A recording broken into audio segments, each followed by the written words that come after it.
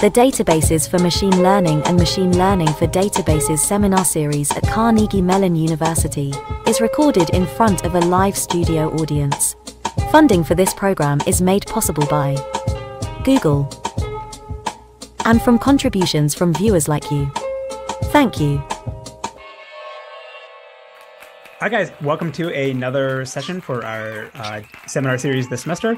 Uh, we're excited today to have distinguished Carnegie Mellon Database Group alumni, uh, Dana Van Aken, Dr. Dana Van Aken. Uh, she finished her PhD at CMU in 2021. Uh, and since then, she's gone off to uh, be a co founder with me and the CTO of Ottertune. And so, which in my opinion is the premier ML or AI for database tuning service. And so she's here to talk about you know some of the things we've learned and some things she's she's been doing at Ottertune. So as always, if you have questions for Dana, please unmute yourself and say who you are and fire your que- question off at any time.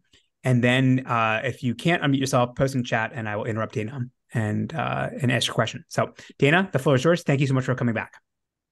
All right. Yeah. Thank you, Andy, for having me. Um, again, my name's Dana. I'm the co-founder and CTO of Ottertune, along with Andy. Um, so today I'm just here to talk about Ottertune, and Andy gave a great intro. I have been working on Ottertune for a long time now. Um, I've been working on it since 2015, so it's about eight years. Um, and I guess about three of those years has been uh, between two and three is uh, you know Ottertune, the commercial product. So with that, I've lost my mouse. Hold on one second. Okay, here we are. So with that, let's get started with the talk. Um, I'm going to start by discussing some, you know, background information. I'll uh, kind of explain what you know a tuning service is, um, and introduce OtterTune at a high level. Then I'm going to spend some time um, reviewing what OtterTune, the academic version, was, and sort of like what what the algorithms were, and you know what what that looked like back then. Um, then we'll kind of, you know under keep it real we'll go over some of the uh, some of the assumptions and you know incentives that that didn't quite pan out you know from from the academic version to the commercial version. And some of the stuff that we had to go back and really think about how to you know fix once we're launching OtterTune as a real product. Um, and after that we will conclude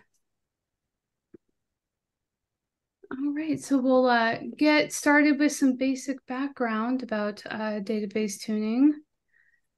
So, you know, I, I feel like I've said this sentence so many times um, because I, you know, databases are just notoriously notoriously hard to tune.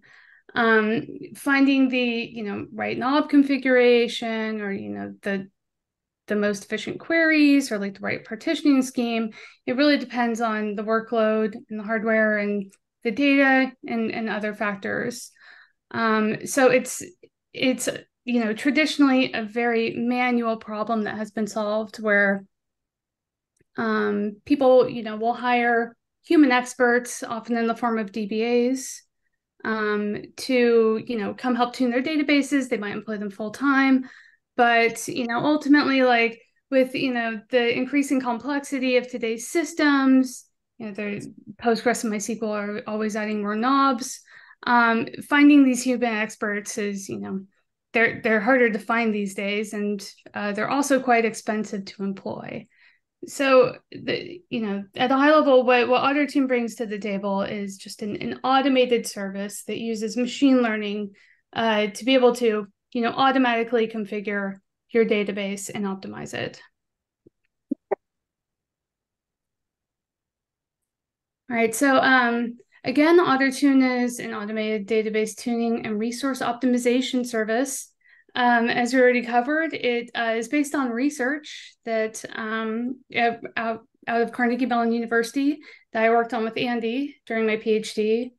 Um, and, you know, the at the crux of it, it just uses machine learning to help optimize um, in the configurations of a DBMS. So one thing to note is that the um, the academic uh, project was only focused on configuration knobs.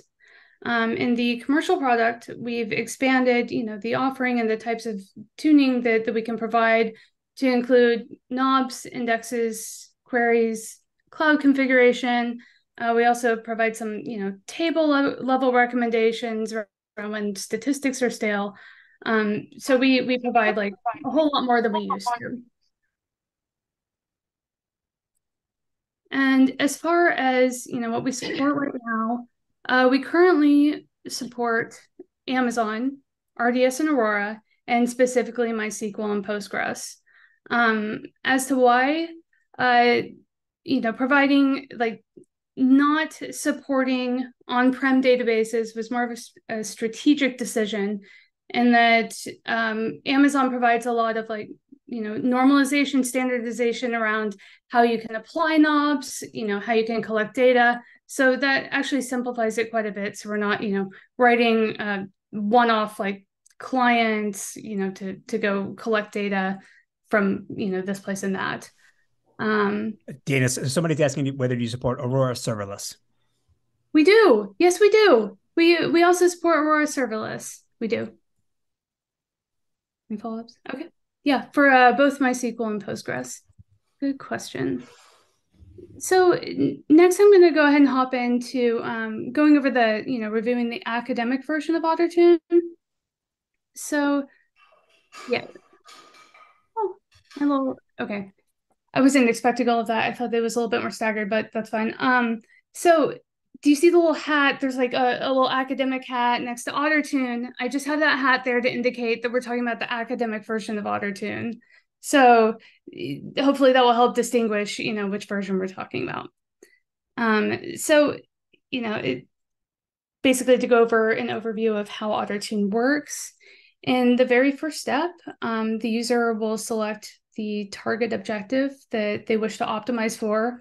Um, in commercial OtterTune, we highly recommend the query latency, and uh, that's what a lot of our customers choose. But this could be the throughput, it could be the CPU utilization. Um, it's really up to you know the user. And uh, with that, we uh, provide a you know a, an agent that users can deploy in their own environment. And what that does is it will connect to the database and collect you know various forms of telemetry including the figure configuration knobs database runtime metrics um, commercial OtterTune also you know collects query information. So that is uh, the purpose of the um, sort of the client side agent. So you know the um, OtterTune will uh, periodically collect this information uh, from the database system and uh, send it back to the tuning manager, which stores it in the data repository. Um, and so there's something that, that we refer to in the paper as, as an observation period. And it's just a period of time where you're, you know, collecting these metrics. Um, I, I believe we collect metric information once a minute or maybe once every five minutes. But um, the observation period is the period of time where you want to observe a given configuration uh, to um, before you know crunching on the data and deciding uh, which configuration to um, to suggest next. So uh, again, the um, we're going to include the uh, most recent observation in that tuning data. We're going to crunch on the data, and then we're going to spit out um, the next configuration uh, the um, OtterTune believes will improve, you know, your system performance over the baseline configuration and configurations it's suggested so far. And so, as far as like what the difference is between um, uh, OtterTune, the academic project, and, and commercial OtterTune, so again, um, we support AWS. So in the first step, uh, the user must grant us um, a number of IAM role permissions. This is to you know collect CloudWatch data, RDS data, performance insights data, and optionally they can provide us with write permissions so that we can actually apply configurations directly to the you know their database you know on behalf of the user. Um, in addition, you know this is additional data that we collect down in step three. And then finally, um, when you know we go generate new configurations, a commercial version of OtterTune will also generate um, uh, health checks, you know, index recommendations, query recommendations, and etc. Dana, quick question. Yes. Do you ever end up with a situation where the telemetry data can become much bigger than the actual database?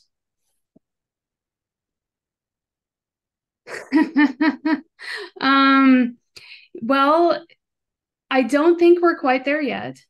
Although I was just talking with our engineering team about um, how how our our storage is starting to explode. I guess we collect about eight gigabytes of telemetry a day, so we're we're starting to have to think about that. But um, we're I am I answering your question correctly? Yeah, yeah, yeah. No, and the reason I ask is, you know, the Microsoft guys always complain if they start collecting all telemetry, it'll be more than the customer data in less than a year. So I was wondering if you're starting to see some versions of that problem, especially if on the smaller databases, which sometimes are very valuable, then many enterprise valuable databases are not that big. They might be sub 100 gigs, and you could easily get there. Great. Yeah. That was good.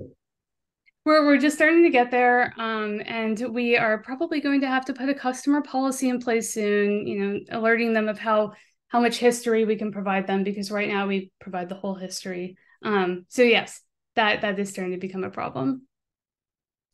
Uh, so what I'm going to go over now is just kind of the motivation for OtterTune way back in the day in 2000, you know, 15 when when Andy and I started working on this problem.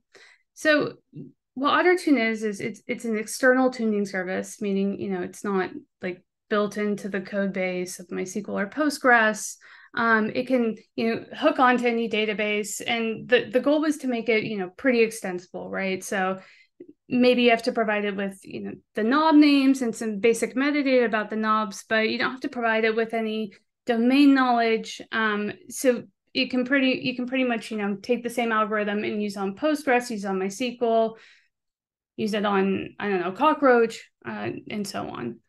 Um, and you know the to to make that happen, like a lot of the techniques that we came up with were you know automatic. They're you know everything in in that algorithm in the machine learning pipeline was pretty much automated. Um, and so the you know the main idea behind OtterTune is you know tuning takes a lot of time and uh, uses a lot of resources so uh, the idea was to leverage the training data that we've already collected from previous tuning sessions um, to help to new DMS deployments that come along more efficiently. Um, and so the way that we do this is um, we're going to train uh, models from the data in our uh, all of the you know previous and historical data in our data repository and we're going to use that data to help us figure out, you know, which are the most important knobs. Um, and and also to try and find which of the workloads that we've seen previously is most similar to our current workload. And then the idea is that we can reuse the data from the most similar workload, you know, to help bootstrap and, and jumpstart the, the tuning process while there's uh, no data for the new deployment. All right, so a little you know, outline of the algorithm. Um, so at a high level, this is the OtterTune machine learning pipeline. Um, two of the parts, the workload characterization and knob identification, uh, those are those run as background processes. And then the automated tuning component is um, the algorithm that's going to be interacting um, and generating configurations after each observation period. So the, the workload characterization period, or excuse me, the workload characterization um, is a data reduction method. So basically what we're doing is we're feeding it all of the, um, as you know, uh, somebody pointed out, there's there's a ton of metrics. We're going to feed in all of that metric data and try and prune uh, and find a subset of metrics um, that capture the distinguishing characteristics of um, different workloads.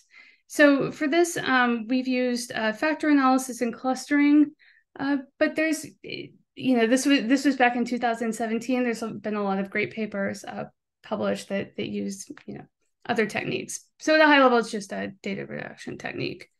Um, similarly, uh, for knob identification, we're going to analyze all of the data in our repository um, and try and uh, we use the lasso algorithm, which is a feature selection algorithm to try and determine, you know, the order imp- order of importance of the configuration knobs.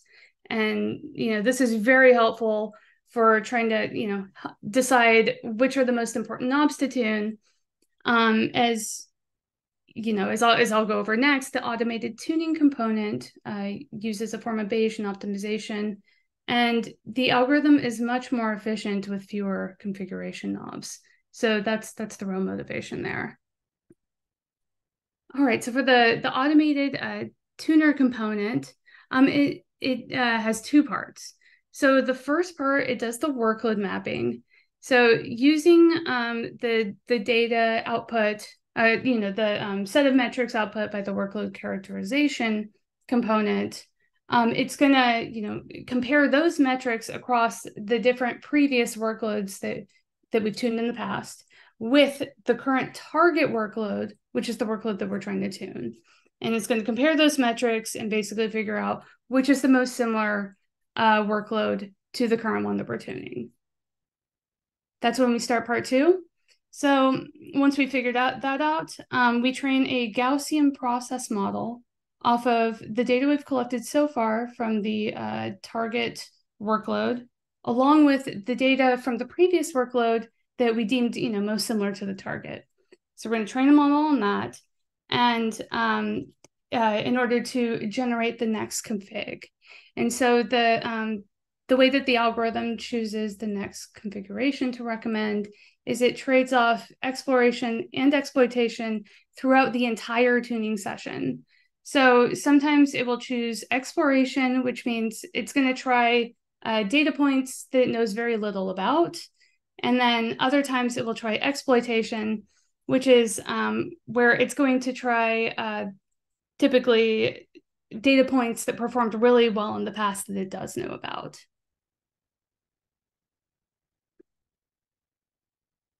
All right. Um, next, we'll go over some of the uh, assumptions that we made in the paper. Oh, there's the there's the red. I was hoping it would highlight. Um, so, you know, our our machine learning research, along with many other papers, um, make certain assumptions that that don't quite pan out um, in the real world. So one of these is just that the optimization pro- process is just a one-time offline activity. Um, we we also kind of assume that that the DBA has you know the tools needed to deploy um, a copy of the database on you know similar hardware and sort of you know recreate that that workload um, uh, you know separate from the production machine. Uh, the workloads, you know, inevitably, because it's really hard to get access to any sort of real data, um, we use benchmarks. And because of that, we only really see like the efficacy of these algorithms on, you know, benchmark data, which is static, um, you know, it's fixed. Basically, we can get away with doing an observation period in five minutes. We can just look at five minutes worth of data to determine, you know, whether like what the next configuration should be because it's just like very it it's just static. Um and finally uh we we sort of take for granted how difficult it is that like and we assume that there's a knowledge base of high quality data available or the ones like you know readily easy for us to access and so this is you know these are just a few of the items um where there's a little bit of a, a, a disconnect between research and industry. Um, and it certainly doesn't mean that the you know research is not impressive by any means. It certainly is impressive, but you know Andy and I kind of well, especially Andy, but like myself, I still have you know one foot, a little little foot in the door in academia. Um, I I would love to see you know more uh, problems being solved in research that are a little bit more relevant to the problem that I'm working on now. Um, yeah, I think that brings us to the next section. So yes, in this section, I'm going to just give a few examples of, you know, like I just named the assumptions. Let's dig a little bit deeper there. All right, so um, challenge number one. It is not practical to tune every database offline in a repeatable environment?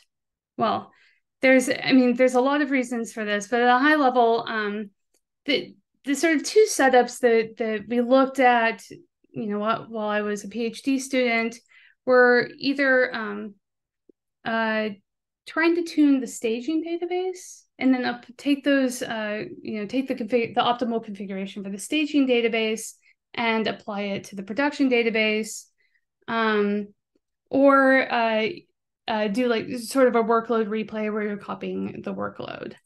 Um, we learned very quickly with one of our initial customers that staging databases, honestly, like for most of our customers and and ourselves, staging and dev databases don't look anything like production database.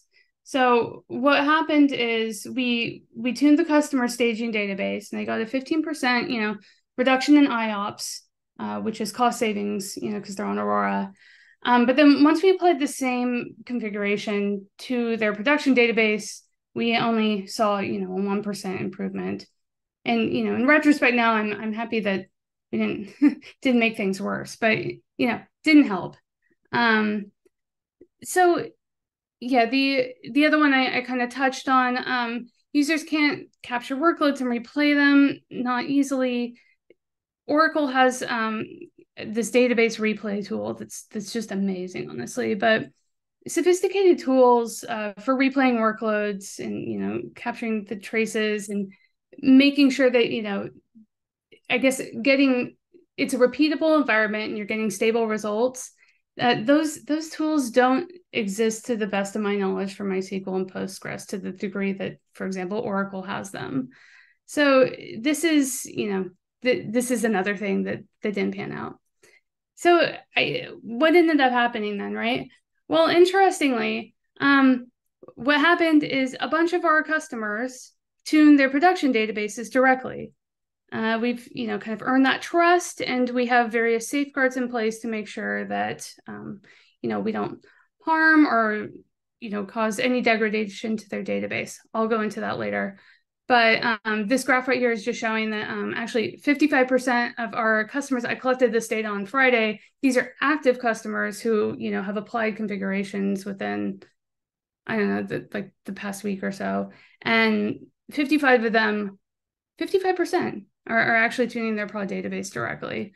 Um, unknown here, like actually the way that I determine this is I look at the name of the database or the tags, you know, the AWS tags in the environment. A lot of them will just say prod. So unknown just means like there weren't any hints about what kind of database it was.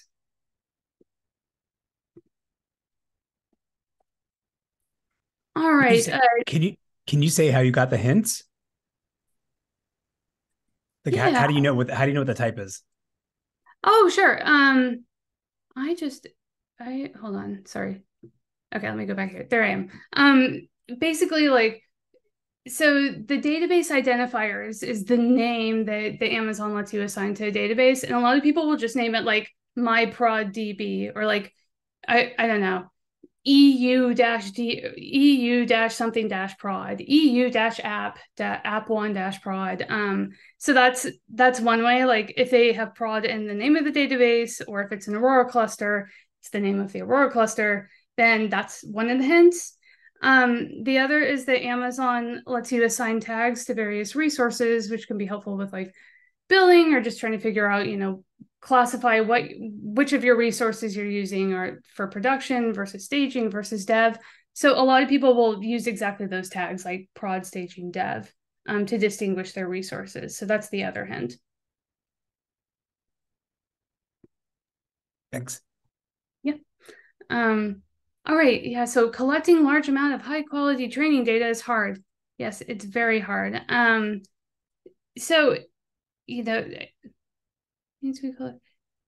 Oh, I should have switched these points, but that's okay. Um, so one one problem is that like workloads are not static at all. Like honestly, I I just popped in, looked for a customer, you know, looked for a few minutes for a customer, and immediately like here's this you know Im- this image of the cpu utilization i came up with like this is over the course of a month. As you can see um you know it looks like there's there's you know a period where the the workload demand increased over the course of the month and then kind of it, it, what's to say is like it, it's not a rep- it's not a repeatable baseline. It's it's not a repetitive pattern necessarily. Um so this is you know one way in which like the data is just itself not as high quality um, and so how do we, you know, how do we solve this as a company? Well, luckily, this is this is a pretty noisy example. Um, a lot of our customers, you know, we support MySQL and Postgres, so it's no surprise they have transactional workloads, and they tend to be uh, quite cyclic, and you know, exhibit like you know day night diurnal patterns. So therefore, like whereas we were using the observation period of five minutes in the um, research paper, um, we now use an observation period of 24 hours because that usually kind of captures a full cycle um, of you know the workload.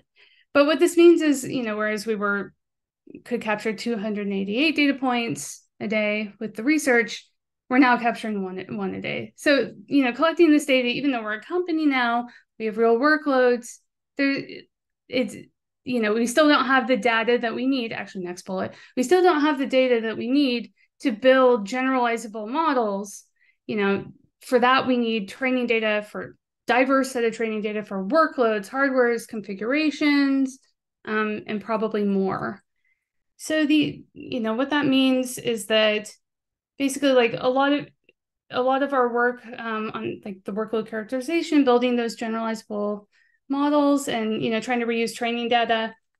We we just don't have the data available to be able to do that. So we have to you know try different strategies and i'll be going into those um, a little bit later in this presentation. Um yeah and so we just don't yeah last points we don't have the training data to to um, use such techniques effectively. So the other major difference is of course is we have real customers um, and the number one rule of customers is you do not crash their their databases. Um, we we've I, I would say we spent a lot of time and put a lot of thought and effort into trying to build trust with our customers. Interestingly, like when Andy and I, you know, um, and Bohan incorporated the startup, there weren't really any products like ours on the market. You know, like I, I think the distinguishing factor is we can actually take you know a configuration and and apply it on behalf of the user. So we really do automate the full loop. Um, and there weren't I, I don't believe like any uh, companies that we could you know really look to for for how they handled that. Um yeah so so you know overall we have to be very careful with you know what we're applying to to the database. Um we we spend a lot of time thinking you know it's not just I, I would never like just throw the algorithm or just pass along to the sorry the knob characterization or sorry the the feature importance algorithm for knobs. I would never just you know take the output of that and hand it to a customer. Um you know we we really do have to have to look at at you know what we're what we're recommending and, and make sure that it's safe. Um uh, customers um, care a lot more about stability than peak performance. Peak performance is inevitably what we, you know, measure in, when we in research papers. Um, it makes sense, but at the end of the day, like if, if you're getting a if if the customer workload um, is stable and like you know performance is up a bit, like customers are happy. Um, the other major thing that was hard for us was uh, time to value. Um, so how how do we show the customer the, you know how do we show customers the benefit of using OtterTune in days? I mean ideally it would be minutes but you know like i said once we change the uh, tuning interval to 24 hours you know it could be weeks before um before they they act before the algorithm converges on the you know a near optimal configuration. Um so we've we've had to think a lot like this was you know a lot of the incentive behind offering health checks um, among like index and query recommendations um, is just to you know we we need to provide value um, immediately. And then the other thing that goes along with this is we also need to set customer expectations on you know the length of time these things will take. Um, a lot of customers just don't really they want something where they just click a button and everything works. But some of them will, you know, want to add every single knob, like in in the whole entire, you know, selection of knobs that we like add the, the one ad and they I've, I've seen like two customers in in our time add the full selection and of course like if you do that i mean the time that it would take to to converge or tune is just astronomical so you know we we've been trying to think about like the best way to educate customers about um uh sort of like the behind the scenes, the machine learning without, you know, div- divulging too much, I guess. Um, so that brings on to uh, keeping it straight. So, um, you know, to to overcome some of these challenges, um, we've put, you know, very... actually, so, so Dana, there's some questions questions in chat. Sorry. Oh, I'm sorry. That's I... my fault. Uh, so, uh, Ashke, do you want to unmute and ask your question? Yeah, so I, I was just uh, wondering, so what happens if uh, OtterTune itself crashes? So do you like persist the information somewhere or it's like the customer or it's like the database's responsibility to uh, versus the like the configurations that Auto, OtterTune recommends? So I think okay. So the question is like, what happens if OtterTune crashes? Yes, um, yes. Luckily, we haven't had to deal with that. But let's what what does happen sometimes is like the um the client side uh, agent will crash, and so mm-hmm. I, I think that the question is like, who is is the question like how do we recover those configurations or how do we guarantee that they're applied or uh, how, how do we recover the configuration oh okay well so the um the configurations are are uh, stored in our back, you know, stored in our backend database. Okay. But is I would say like we can easily recover a a similar configuration by just rerunning the algorithm on the same data. Um, sure. Of course, if we lose all the data, um, then then we would be in trouble.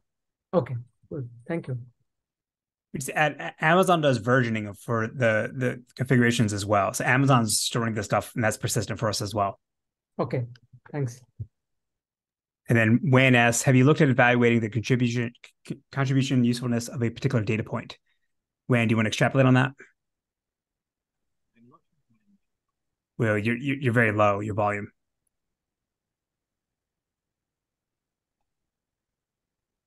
All right, I, I can't hear him. Um, yeah, so he's asking. So he's asking, like, have we looked at, say, like, for a particular data point, I guess across multiple data points in a time series, is one more valuable th- than another? Oh, no, I don't. I don't. It says from a few slides ago, looking at five minutes of data versus one day of data. Wait, what? Like, why do you choose one day versus five day, five minutes? Oh, oh, sure. Um, so the reason that we choose one day, I I, I probably just sped right through this, um, is because most of our customers have um, have periodic workload patterns where you know they there's there's really like no uh, activity at night and then it starts picking up in the morning gets busy you know high demand in the afternoon and then goes down in the evening. So we can kind of um, sort of generalize and try and pick good default values uh, based on the characteristics of most of our customers' workloads. So that's why we pick um, the 24 hour tuning period specifically.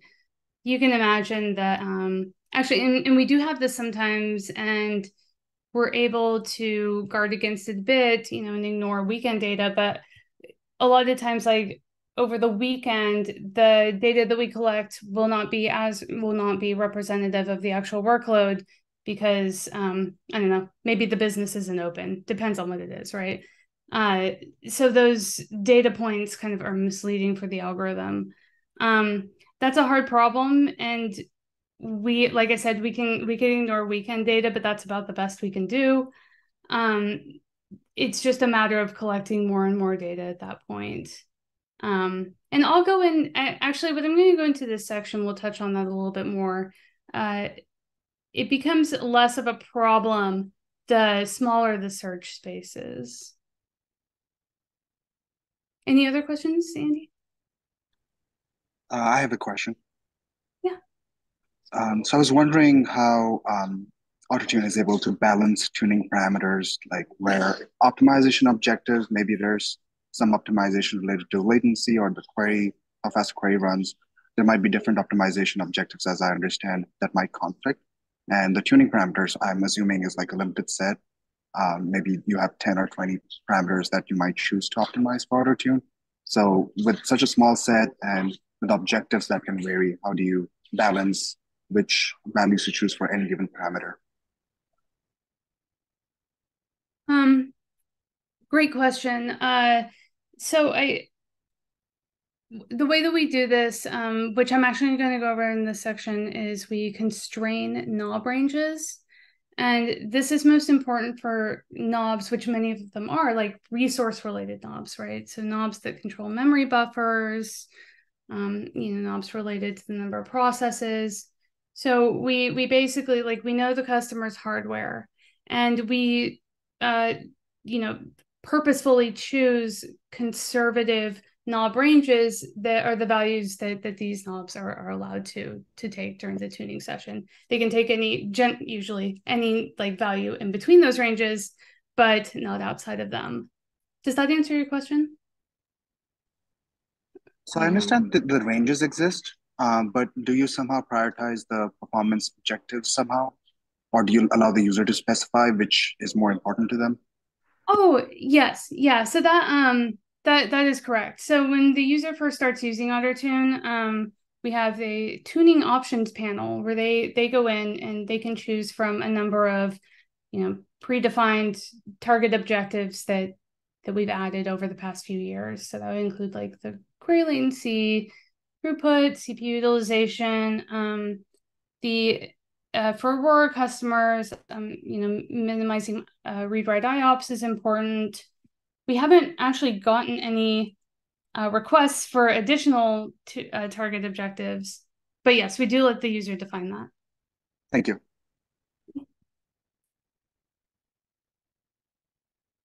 Okay. Yeah, so let's um let's go ahead and jump in and oh and I'm running out of time. Okay, I'll try and speed through a little bit. All right, so uh so sorry, kind of rushing through this, taking a step back. The way that we solve a lot of these problems um, which is kind of a no-no in research, is we incorporate a lot of domain knowledge. The reason I say it's a no-no in research is because you know that's kind of I, I went over some of like the I, I, went over our goals with like the first OtterTune paper, and we wanted to automate everything so that somebody who has no knowledge of a database can go in and use the algorithm, and you know it spits out like they can use it without any domain knowledge. But realistically, like in um, in the commercial product, incorporating domain knowledge has been um, very, very helpful on two fronts. Um, first, it it's you know sort of the way that that we implement a lot of the safeguards. Um, I'd already mentioned the knob constraints, which I think I'll go over the next slide. Um, but then uh, it also allows us to um, to reduce the this um, the search space of configurations, which is incredibly helpful. Um, as because right now in research, I, I frequently look at papers and the um, convergence time, you know, can be dozens, hundreds. So, you know, we don't need to reach convergence at OtterTune, but we do need to start seeing a benefit.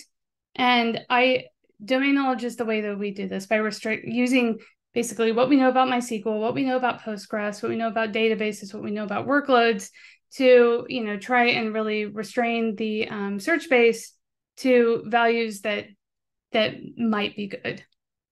Um so yeah like in general um i think research research is spot on like for most databases and workloads um there's probably 20 knobs that are really going to matter for that database. Um uh, it certainly is going to vary by workload but you know trying like being able to narrow down the search space from you know hundreds of knobs to just you know 10 to 20 is is very big. Um so you know like we we actually did this in the academic project but some of the ways that we do this are we remove you know knobs that that really aren't tunable they don't make sense to tune like it's the port or they require human judgment and you know could you know cause consistency issues in the database um, and oh, actually, this is an interesting tidbit. In the initial version of OtterTune, we offered uh, database restarts, so customers could could actually tune, you know, uh, parameters like shared buffer, where it required restarting the database. But in the history of like two years, nobody had ever enabled it. So we we didn't, you know, the functionality is still available in our backend, but um, but we just don't expose that to users anymore uh, until we can think of like a little bit more clever way to um, provide that. Um, we also do, you know, use like automated feature selection techniques. Um, we have a data analyst who who does look at the data and and we you know we do some some automated analysis to to determine you know the most important knobs for example but at the end of the day like a lot of it is still manual um bohan and i and and sometimes andy are you know looking looking at all the knobs before they go into production um and right now OtterTune recommends between 10 and 20 knobs per database systems you know for customers that are just getting started with tuning um rds postgres mysql have the most uh, you know, Aurora removes some of the storage parameters, so that's why you know they decrease a little. And then serverless, I think, removes a, a couple more. So um, there are fewer knobs to tune with um, Aurora and Aurora serverless. Um, Wait, I have a question from the audience. Matt, Matthew, you want to ask your question? Sure. Uh, I was wondering, you're talking about configuration. I was wondering if you've done any machine learning on the output of explain for maybe high frequency queries or any queries? I have not. No. Andy, have you or has Bo? Yes. So we don't get right now in OtterTune, the commercial version, we don't get the output explain um, from customers because you have to enable that. Uh, there's a, there's a for Postgres, there's an extension to enable. Uh, for for the CMU database group, the research, which is completely separate from the OtterTune, uh, yes, we, we do ML on the the output explain analyze. So you can't uh, you can't generate your own queries. Is that what you, in the product you? It's, we can't generate query plans in the product. Uh, I do have a line. Of, I do have a student working in research to inject plan hints into Postgres using PG plan hits based on tuning optimizations, which is completely separate than than the commercial product. Cool. Thank you. Right. Yeah. So um just going over the, the you know constrained knob ranges. Uh, this is just a, a, couple of screenshots of our, our UI for the tuning options where you can you know select which knobs you want to tune and and we provide for for the you know between 10 and 20 knobs that that are the recommended knobs we come up with the bounds um, for you know for users. And honestly it's a lot of work to come up with safe bounds so it's it's pretty valuable. Um, users, if they click the um, show other knobs button at the bottom, uh, they can go in and you know tune whatever knobs they want, but they have to pick out their own knob constraints. Um, yeah, like I mentioned, we we do a lot of testing before adding you know new knobs, and we really think about the um, you know the the range of allowed values.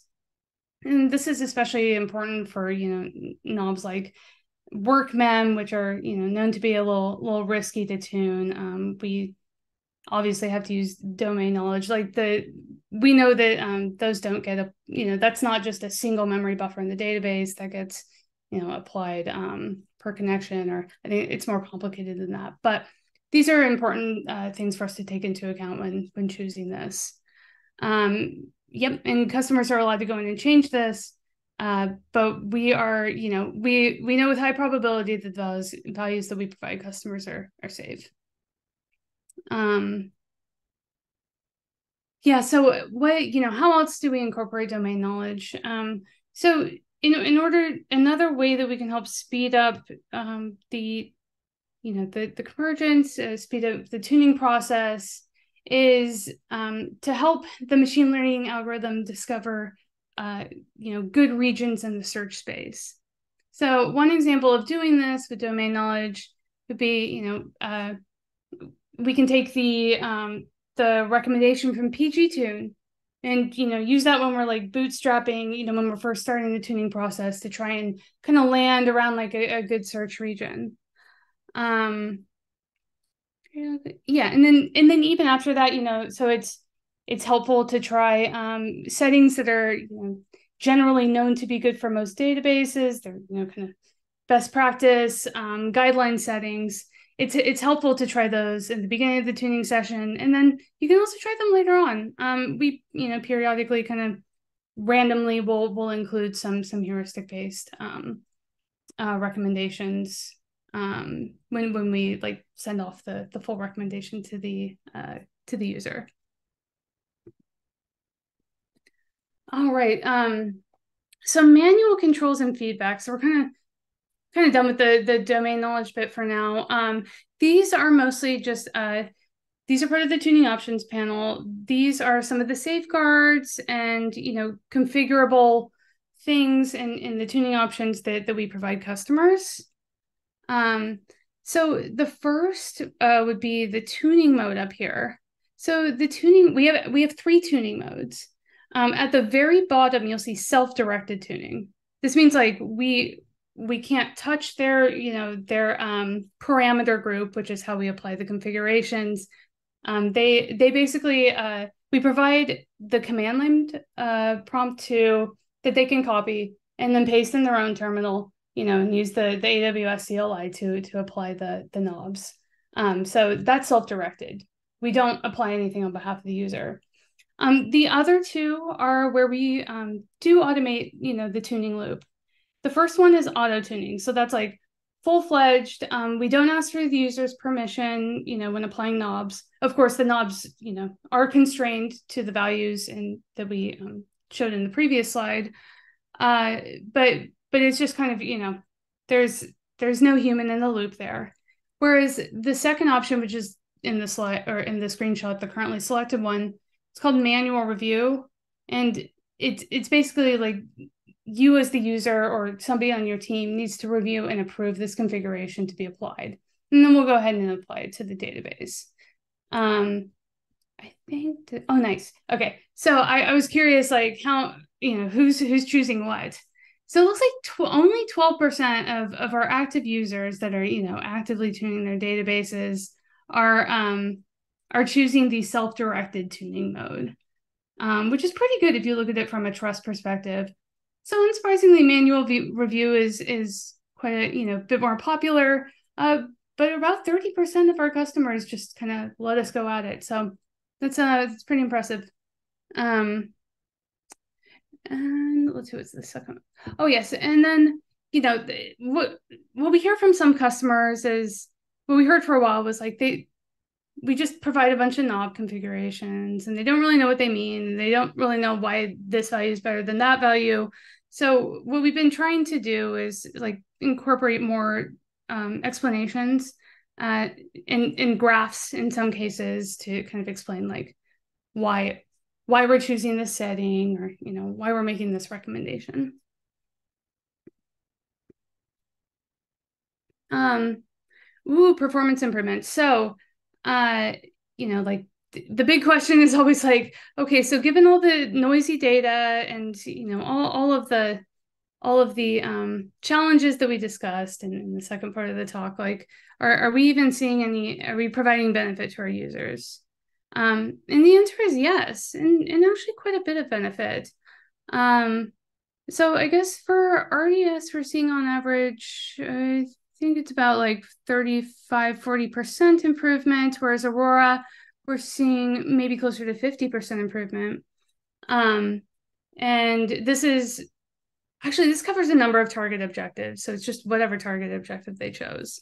Um, Andy had asked, Andy had like mentioned, hey, you, you should try and figure out like why Aurora is more, um, why, why are customers getting, you know, more benefit with Aurora than RDS? Um, and of course, I didn't actually have time to like really look into it, but uh, I I was thinking about it, and I'm curious if like the difference in I think that RDS is closer to 20 knobs, Aurora is closer to maybe 12 13. i would have to double check but i i'm wondering if the um we're just tuning tuning fewer knobs so people are seeing um, more benefit more quickly i really don't know so that's a that's an open question that that we're going to try and solve but very interesting um you know in some cases some people are seeing you know a lot of benefit um these are typically people that you know i'm guessing have haven't really done any tuning on their database. Uh so the number of people that have done zero tuning you know is, is around 40% um quite a few people have done some tuning which is which is a bit surprising. Um, and so presumably like the low values here might be people who not only did some tuning but but tuned it well. Um, you know, hard to say concretely. Does, does that graph like combine these stats of like whether I'm trying to optimize for CPU or you know IOPS and it just kind of combines them all together? That's correct. Yes. So is this graph corresponding to the initial optimization page phase when um, OtterTune converges initially?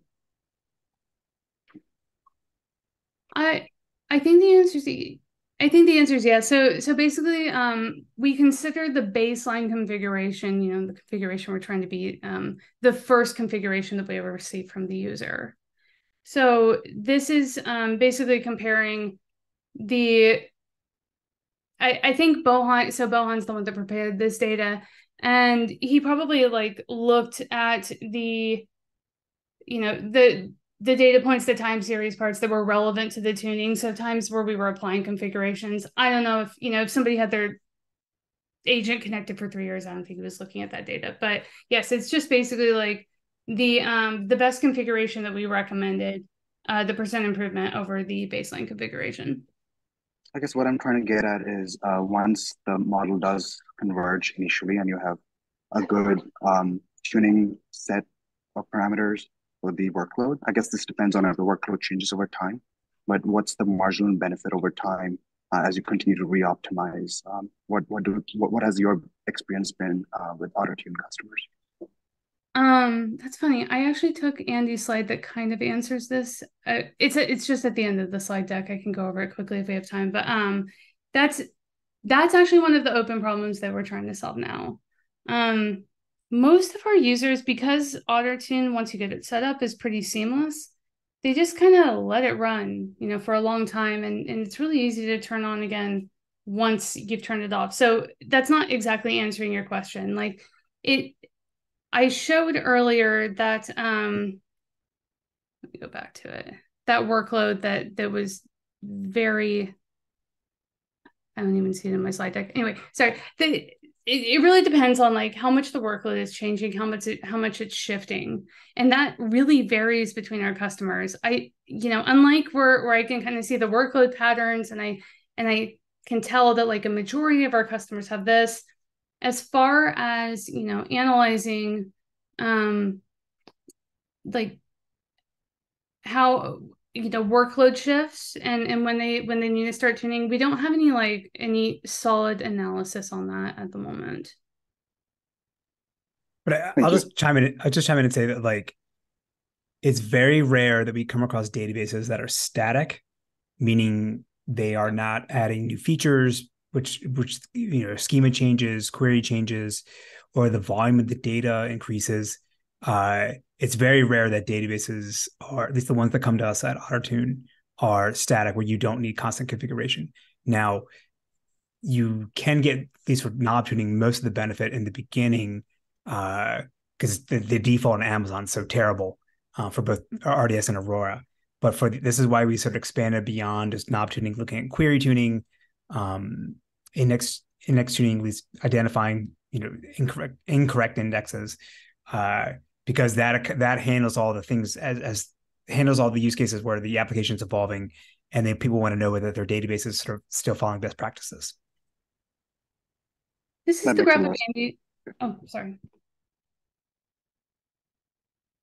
This is Andy's graph that sort of covers it a little bit. I mean, it covers two different tunings. So initially, the customer, um, you know, applied uh, applied configurations. They went through a tuning session. Um, we improved their query latency by 88%. And then they applied it, um, you know, I, what is it, like a few months later, and we further improved uh, the target objective. However, in this case, I, I could see, you know, you can make the argument like, well, the workload didn't really change.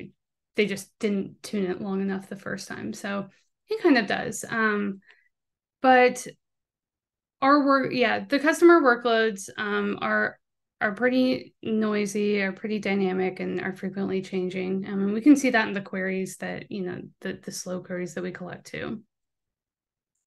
Um, okay.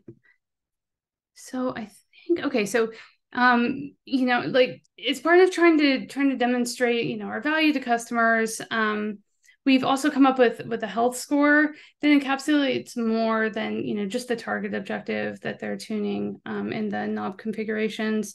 So this will incorporate like their their health with with respect to like how we're scoring them for indexes, um, queries, uh, database resources. Um, so if they you know have have super high memory usage or something, uh, you know look at docs and points. Um, so in in this way, like this is you know, it's kind of like um, a credit score. It's just a little bit of peace of mind. I don't know if a credit score is that much peace of mind, but it it kind of works in that same way. Um,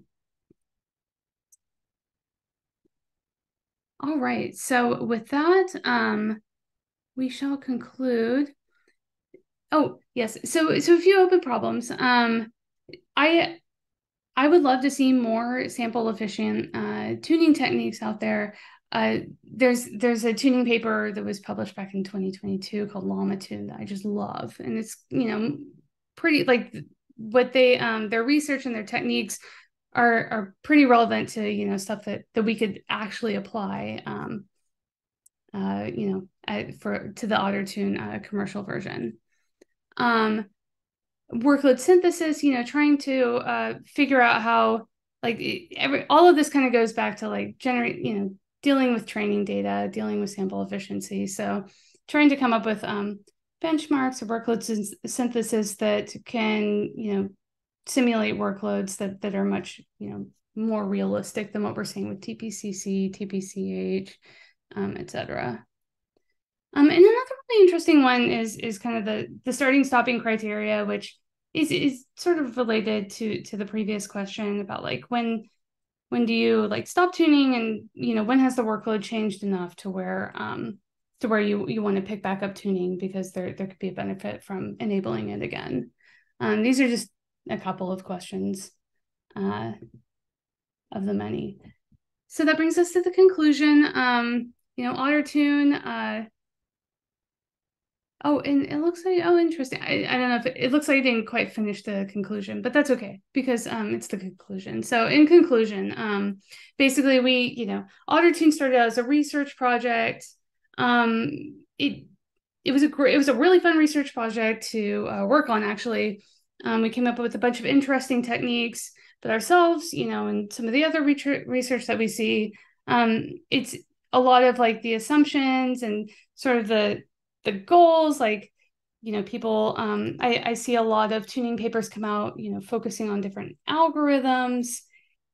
Yeah, you know like maybe not the most important thing uh, you know on, on the industry side to solve for us but um so it's you know this talk has been kind of like some of the um, modifications that we've made and uh, to to make OtterTune a commercial product.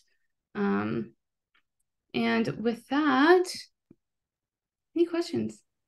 Awesome. I will applaud on behalf of everyone here. Uh, so we have uh, a few minutes for questions for Dana. So if you have any questions, please please fire away. Yeah, I've got a couple. I'll start with one, Dana. You mentioned earlier in the talk that one of the crucial elements, if I got that right, was for you to be able to look at a workload and compare against a database of workloads and say which workload is similar to mine so that I can better understand is that a good starting point for the parameters? Mm-hmm. just characterizing a workload is complicated. And Andy explained you don't get the explain output. So you're basically getting the queries and perhaps some stats from it. Are there some things you could disclose openly about how you compare two workloads and compute similarity between them? So I I'm I think I'm sorry for the confusion in advance. Um my little hat next to the OtterTune did not work as well. That that um, algorithm is only being used in the research version of OtterTune. Right. So in the research version of OtterTune, we basically um, came up with, you know, a whole, our different workloads were just different variations of TPCC, YCSB, you know, and a whole bunch of other benchmarks that were in like uh, OLTP bench. So it, I, um, we haven't applied uh, that algorithm in, you know, to the commercial version of OtterTune because you know for the reasons you're mentioning. Um, I think I think a a lot more work is needed. We need ultimately we just need more data and, and able to in order to be able to build any sort of generalizable model um, to to be able to you know find similar previous data.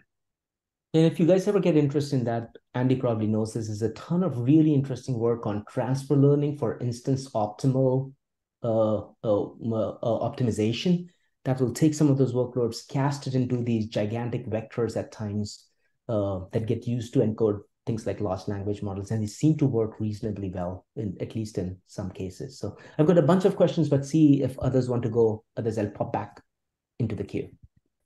Yeah, thanks. Uh, obviously, also the reason also it's hard to because the hardware varies so much, right? Mm-hmm. There's different instance sizes, uh, and then you have to deal with provision IOPS and other accoutrements you can add. So it's part of the reason we'll be in the, yeah, the in database versions is the other thing that, that screws things up.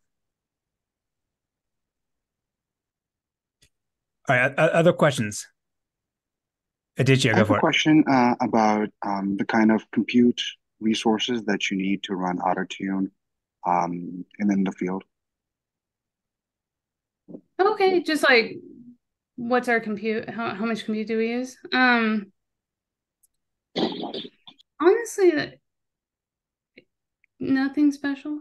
Nothing special. Really? Um, we're we're not uh the so the okay the um the algorithm can be compu- computationally uh, expensive if if you include um, a lot of samples so if you have a lot of data points um, that kind of you know controls like the complexity of the algorithm and so we limit oh i forget the exact number but we don't look any further back than like maybe a few months. We only use the data from like the previous few months versus you know the, the whole amount of data that we've collected. So that does um, help quite a bit. And then I had a follow up about um, as as I guess database systems change and you get maybe more tuning parameters. I'm assuming most tuning parameters probably change, uh, stay the same over the years. But as you do get new uh, parameters, how do you like? What kind of a delivery model do you have to deliver OtterTune updates? Well, like like I kind of alluded to it, it's it's pretty manual.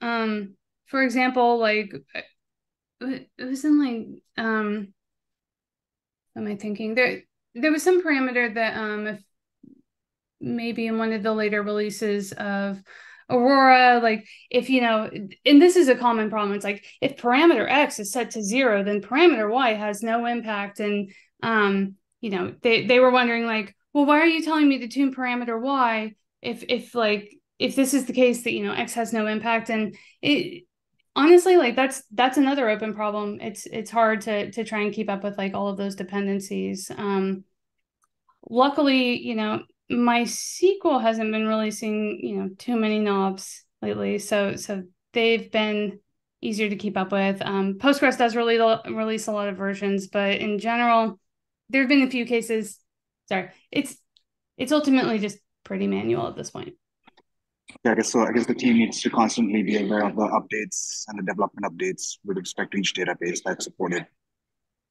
Th- that's correct. Yeah. So luckily, like it, whoever's working on it, it, this this sort of um, exercise typically happens when you know Postgres releases a new version because you know they release much more frequently than MySQL. So whenever we need to go in and start supporting a new version, that's when we kind of do that that review of the knobs.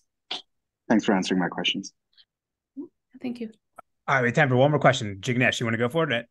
Yeah, I think it's uh, uh, two sides of the same coin. Do you have you thought of optimizing things other than the main database, like a replica or even consider whether you could look at the workload and say, you know what, you're on Postgres, you'd better be, you are better off even in that same ecosystem if it is Aurora or RDS to move to MySQL or vice versa.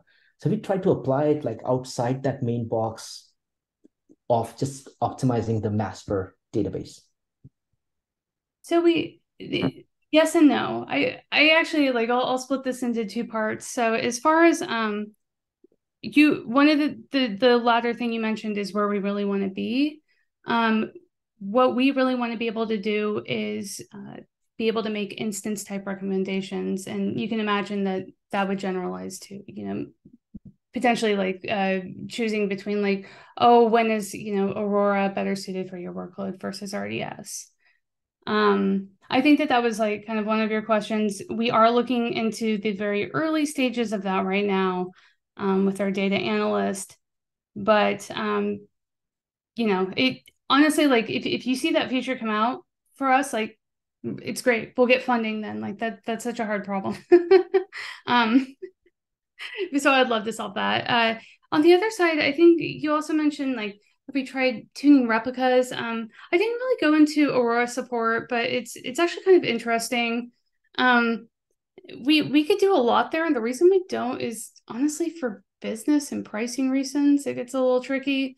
Um, but we have like so oh, AWS allows you to tune at the instance and at the cluster level, for example.